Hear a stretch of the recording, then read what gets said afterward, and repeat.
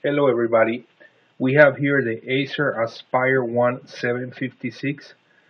Uh, the purpose of this video is to show you uh, the Windows experience index uh, between uh, using 2 gigabyte RAM um, and upgrading to 8 gigabyte RAM.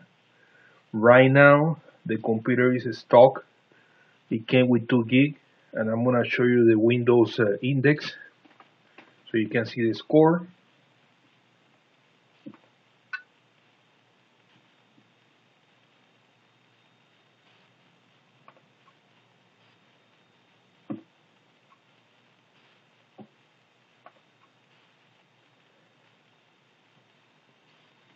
So as you can see the Windows Experience 4.7 um, memory operations per second it's it gets a 5.5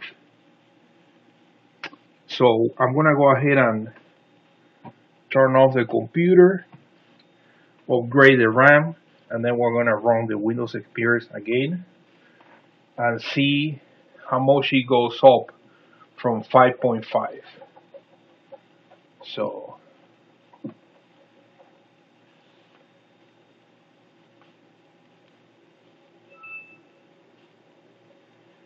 the RAM that I have here is uh, PNY. It's two sticks of uh, 4 gig each one, and it's compatible with uh, with the 1333 megahertz and uh, 1066 megahertz. Anyways, so the computer is off now.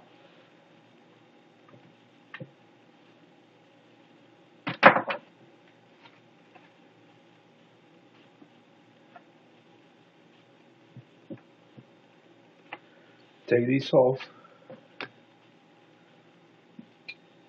Then you take the battery off.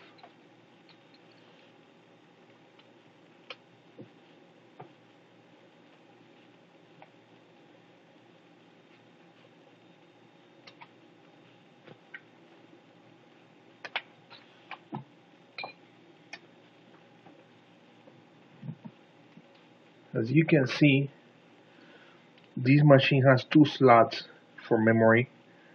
One here the other one right here. So like I said it came with 2 gig of RAM stock. So you're gonna push this out.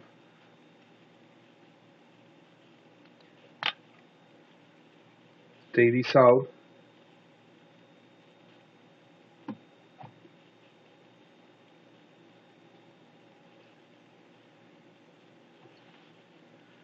we're gonna replace it for the 4 gig.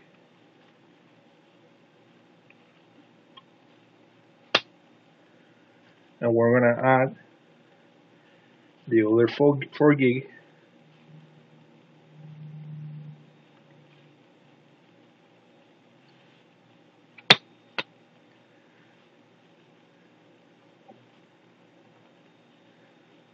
Now we're gonna connect the battery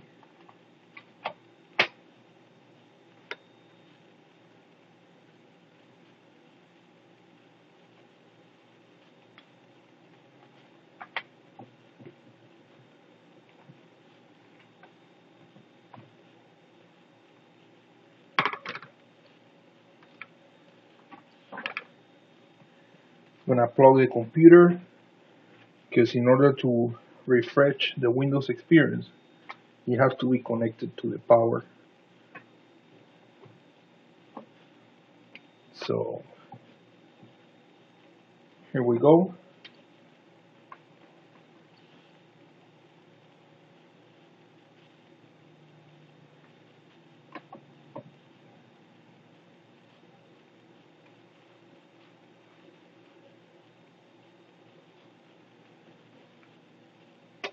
this memory right here I believe I paid about $70 between 60 something and $75 something like that. It's not too expensive it's not too cheap but it's really worth it. Um, so we're gonna go ahead and see the score in a moment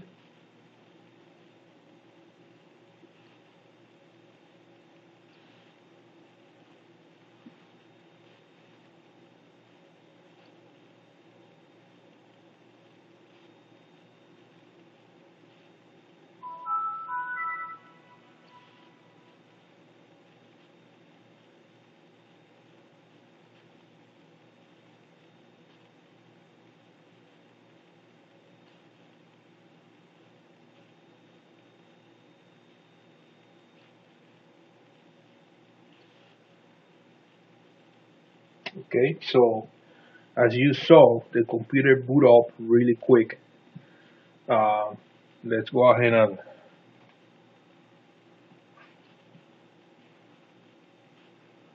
look at the Windows experience.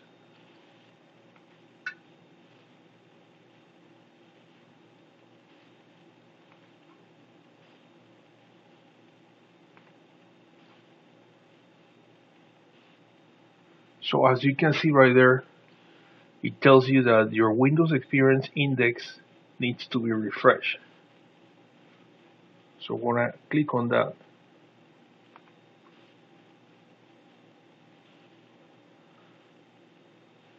See, right now it's still showing the 5.5 from before. So the overall score might not change, but you're gonna see that the score for the memory RAM is gonna change.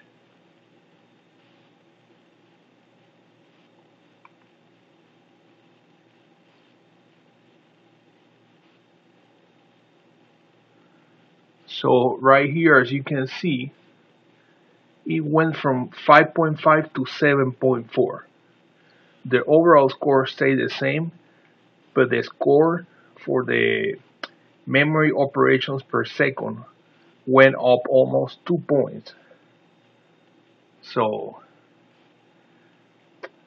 let me tell you that for a little netbook like this one, something that you can buy for right now under $300, that's a really, really high score.